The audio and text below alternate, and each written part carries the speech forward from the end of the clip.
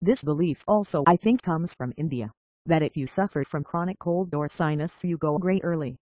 I can't think of three possibilities to support this. One reason for getting repeated cold is weak immune system due to lack of antioxidants in the diet. Antioxidants are important to remove free radicals. People suffering from chronic cold and sinus usually tend to use cold water for washing their hair.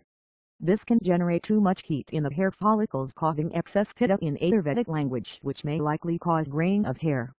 Another possible reason could be, people with constant cold preferred body warming foods e.g. honey, garlic, coffee and avoid cooling foods e.g. cucumber, melon, banana.